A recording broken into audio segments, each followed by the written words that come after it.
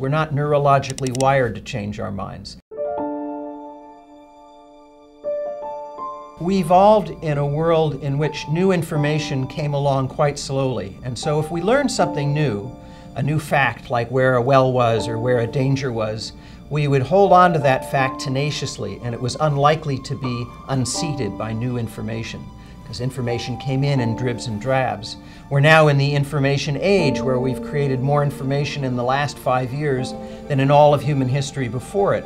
What that means is we haven't evolved to catch up with that way of life so that we still cling to early beliefs and even as new information comes in, it's very hard to take account of that and change our minds. We're not neurologically wired to change our minds. And of course, the foundation of scientific reasoning and rational thinking is that as new information comes in, you might want to change your mind because that new information might be critical. It might unseat the information that caused you to form an opinion in the first place.